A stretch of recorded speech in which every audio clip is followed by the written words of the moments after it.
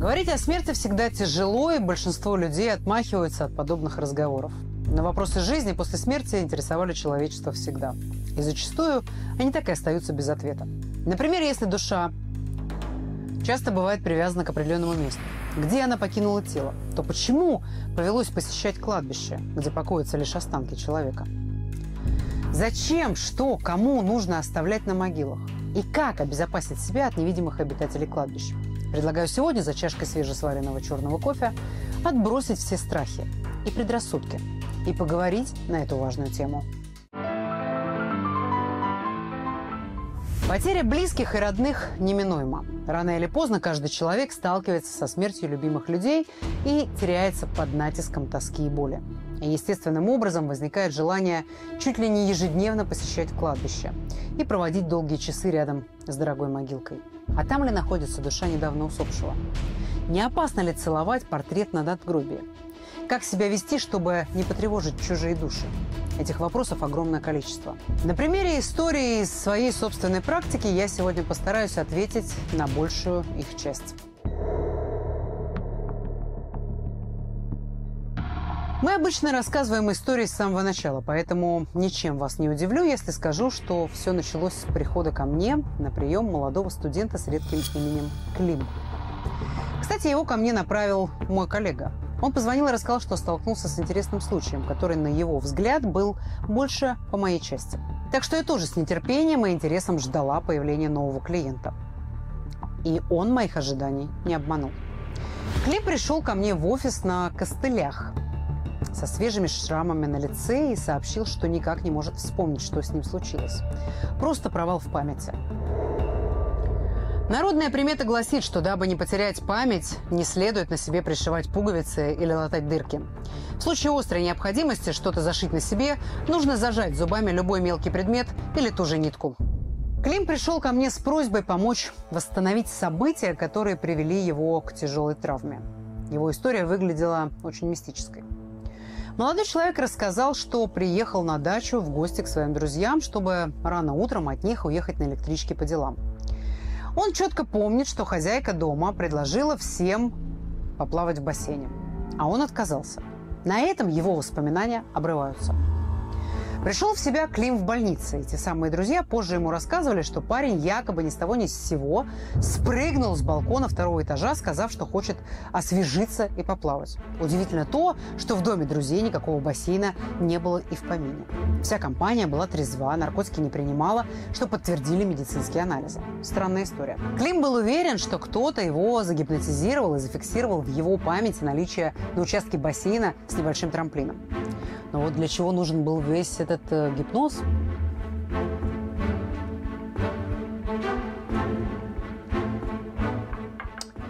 Многие считают гипноз официальной разновидностью черной магии. На мой взгляд, это не совсем так. Но схожесть все-таки есть. И в том, и в другом случае это воздействие на волю человека и нарушение закона кармы. Душа каждого человека перед воплощением выбирает тот путь, который она должна пройти, самостоятельно исправив ошибки и получив свои уроки. Мы не случайно получаем жизненный опыт и, к сожалению, вместе с ним душевные травмы. И наша задача – проработать их, справиться, сделать выводы. Это как перед вами стоит задача подняться на 25 этаж пешком, чтобы подкачать мышцы, а вы едете на лифте. Вроде как и на нужном этаже, но мышцы-то не в тонусе. Так что будьте готовы, что в следующий раз лифт может оказаться сломан, и вам все равно придется пересчитывать все ступеньки. Но стоит ли искушать судьбу, терять время и замедлять собственное развитие? Мне часто задают вопрос, почему мы не помним наших предыдущих воплощений? Почему память порой не фиксирует события, оставляя ощущение киношного монтажа? Я постараюсь ответить наглядно. В нашем организме, как и в окружающем мире, постоянно происходит обмен энергией. Мы энергию не только тратим, но и накапливаем вместе с полученной информацией. При нашей физической жизни этот процесс постоянен. После смерти душа теряет плоть и становится неспособной копить энергию. Она живет, расходуя остаточную энергию. Этой энергии должно душе хватить, чтобы выполнить свои задачи в мире мертвых. К моменту перерождения данной, прежней энергии просто нет – и память о прожитой жизни просто улетучивается. Затем Вселенная посылает душе сильный сигнал, формируя новую личность, и процесс начинается заново. Поэтому никто из нас не помнит своих предыдущих воплощений. Но частички прошлой информации, словно застрявшие песчинки, иногда дают о себе знать, проявляясь в качестве интуиции – дежавю или странных снов. Собственно, по такому принципу происходит и блокировка в памяти некоторых сильно эмоциональных событий, как аварии, нападения, смерти близких. Эмоции забирают столько энергии, что ее просто не хватает на сохранение информации. Было интересно? Узнали что-то полезное для себя? Тогда ставьте лайк этому видео и подписывайтесь на мой канал. Я уверена, вы не пожалеете. Вернемся к странной истории моего клиента Клима, который не помнил, как и зачем он прыгнул в несуществующий бассейн. Молодой человек подозревал, что кто-то загипнотизировал его, внушив, что балкон второго этажа – это трамплин у края воды. И пока мы разговаривали, я видела, что вокруг Клима собираются мертвые. И это не были его кровные родственники или даже знакомые.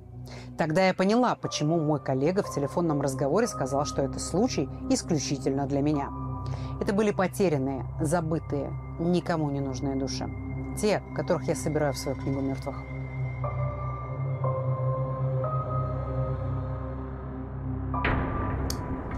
И мне предстояло понять, что происходит и почему столько чужих, давно умерших душ крутится вокруг Клима.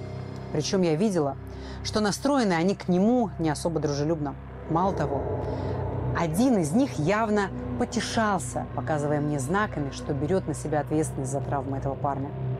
Такое невидимое окружение могло быть у сотрудника кладбища или морга, но я уже знала, что Клим учится на очном, а вечером подрабатывает в пиццерии.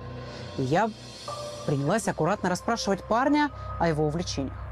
Выяснилось, что Клим – волонтер поисковой группы, который ищет артефакты для музеев и занимается перезахоронением остатков неизвестных солдат. То есть молодой человек ради благого дела, но своими руками раскапывает могилы и взаимодействует с предметами, принадлежащими мертвым. Чтобы избежать несчастья и проблем со здоровьем, народная примета советует никогда не поднимать упавшие на кладбищенскую землю вещи – а для сохранения финансового благополучия не следует доставать и пересчитывать деньги рядом с могилами.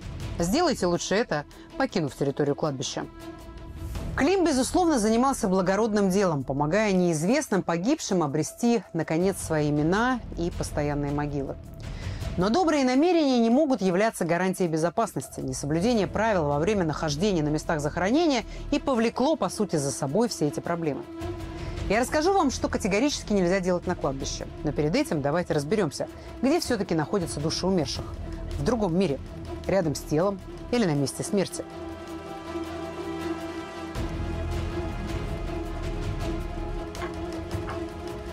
Человек состоит из единения духа, тела и души. После смерти этот как бы троица, она распадается, и каждый элемент самостоятельно развивается в своем измерении. Тело превращается в прах или гниет.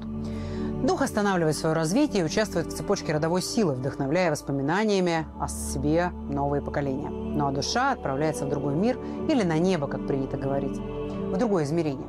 Смерть – это не мгновенный процесс. Полностью он завершается только после того, как тело окончательно превращается в прах. А это может занять годы. Пока смерть не завершилась, дух может находиться поблизости с телом или в местах обитания человека при жизни. Душа по истечении 40 дней должна переместиться в мир мертвых и выполнить там свои задачи, а точнее получить эти задачи, выполнив которые потом пойти на перерождение. И в течение 40 дней душа определяется с этими задачами. Ее принимают в мир мертвых, и она находит там свое место – но если душа не упокоена и осталась по каким-то причинам на земле, то такая душа также может находиться поблизости.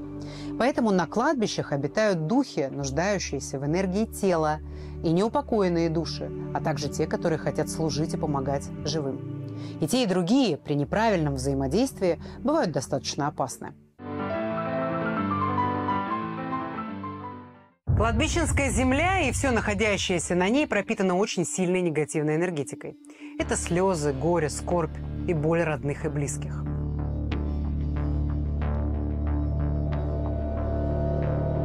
Это энергия отчаяния, страха, несогласия со смертью от самих усопших. Это энергия злости, обиды, желание мести от неупокоенных душ и сущностей. Вы сможете пройти по такой территории, не соприкоснувшись с негативом?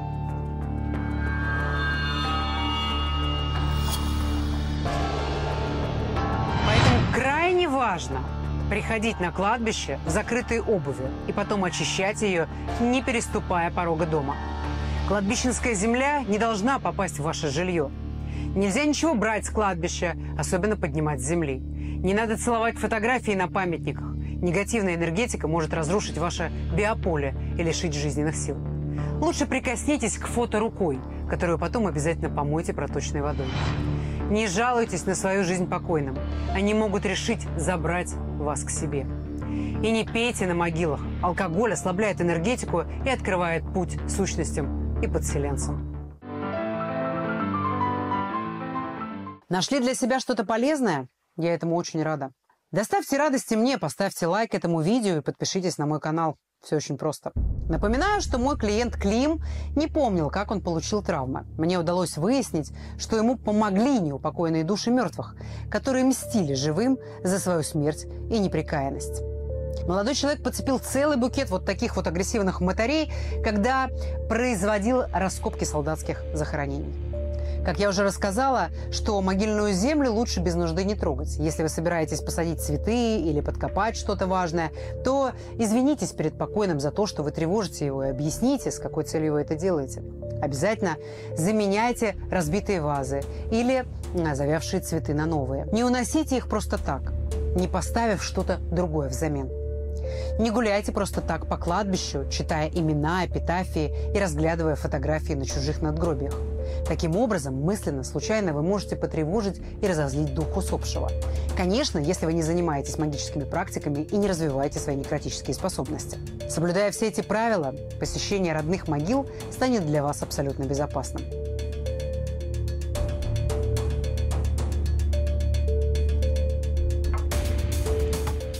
Ну а нам с Климом предстояла тогда работа по упокоению души и избавлению от подселенцев. Все закончилось хорошо. Позже Клим вспомнил, что тогда у друзей на даче он отчетливо видел бассейн, наполненный водой, куда он прыгать совсем не хотел. Но кто-то будто его толкнул. Теперь мы все знаем, кто и зачем. Что делать, чтобы подобного больше ни с кем не случалось. Мир мертвых, как и мир живых, существует по правилам. И основное, негласное правило – это прежде всего уважение. Уважение к чужим мировоззрениям, позициям, мнению, личным границам и потребностям.